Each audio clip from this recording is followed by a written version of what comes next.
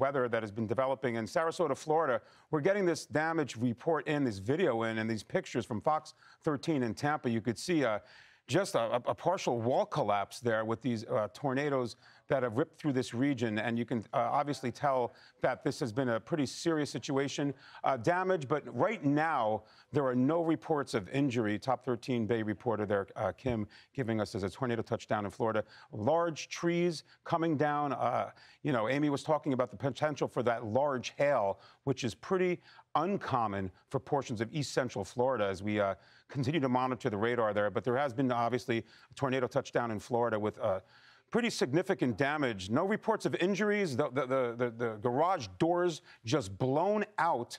And obviously, have your Fox Weather app handy. Uh, the notifications are on there. The radar is on there, uh, showing you where the warnings are, where the future track of these storms will continue to, to go as we. Uh, you know, hone in on the state of Florida as we speak right now.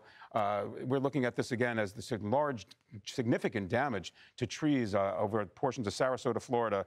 Obviously, and that's the west coast of Florida. As we go through the next uh, several hours, there's a, a, severe, and we're getting this information in. It's a preliminary EF1 from the National Weather Service. So uh, it's a pretty, uh, I mean, it's, it's, a, it's on a scale of zero to five, it's a, it's a one. It's still doing that damage. As you could see, the EF1s can do some considerable damage as we go through time. And I'm just trying to get on my Fox Weather app right now.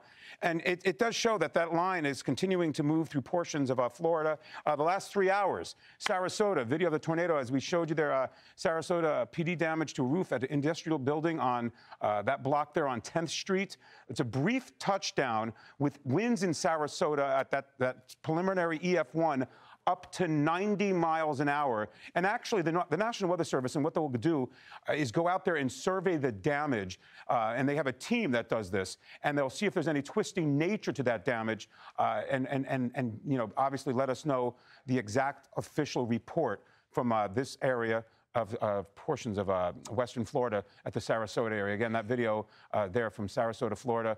Uh, please be vigilant. Have your Fox weather app handy. Craig, I know you're going to uh, keep talking about the situation on the east coast of Florida as we speak with more th- thunderstorm warnings. I'm Amy Freeze. Welcome to Fox Weather's YouTube page. We have more great videos on the way, so make sure to subscribe to stay updated on all things weather.